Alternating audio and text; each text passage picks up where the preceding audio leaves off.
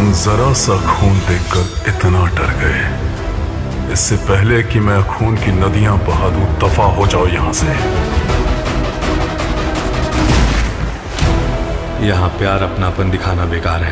Hello दोस्तों तुम्हारा इंतज़ार खत्म यार भाई लोगों तुम्हारा इंतज़ार खत्म इसी बात पर लाइक कर देना क्योंकि के हिंदी तक में बेस्ट क्वालिटी में वो पूरी पिक्चर अवेलेबल है यार यूट्यूब पे तो तुम्हें मज़ा आ जाएगा। तो इस बात पे लाइक कर दो वीडियो को सब्सक्राइब कर दो चैनल को और बड़ी बड़ी पिक्चर यूट्यूब पे रहे और भी बताने वाला हूँ।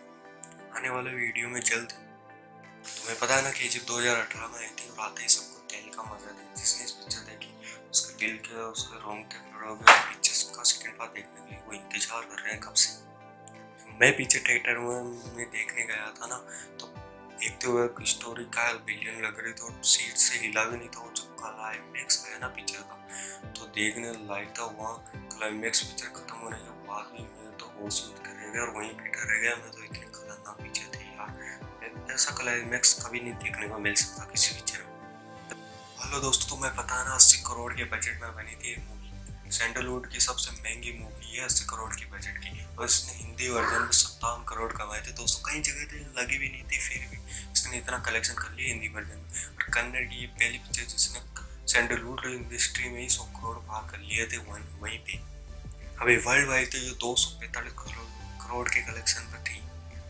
जल्दी इसका सेकेंड पार्ट आने वाला, उसका बस काफ़ी हाई है दोस्तों। ये मूवी इस मूवी में एक्टर हो चाहे डायरेक्टर हो चाहे म्यूज़िक और सॉन्ग सब ब्रिलियंट थे, सब ए टू जेड फिक्स थे, मस्त थे। जिसे डायरेक्ट किया प्रशांत नील ने, और ये उनकी सेकंड मूवी थी इसे देखने को मिले रॉकिंग स्टार यस नीतीश शेट्टी और एक से एक दमदार विलन देखने को मिले जो हमें देख के मज़ा आ गया। अब तो इसके सेकंड पार्ट में संजय दत्त को ले लिया गया तो इसका बॉक्स ऑफ़िस कलेक्शन का भी धमाकेदार होने वाला है।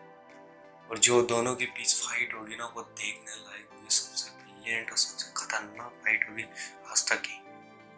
क्योंकि के टू आने वाली है 2020 में दोस्तों। और अब की तो इसकी स्क्रीन सब कुछ ब्रिलियंट होगी सबसे ज़्यादा मिलेगी इसकी स्क्रीन भी। तो मूवी यूट्यूब पे हिंदी डब में आ चुकी है और ब्रिलियंट क्वालिटी अच्छी क्वालिटी तुम्हें देखने में मज़ा आएगा। पूरी पिक्चर है, उस पर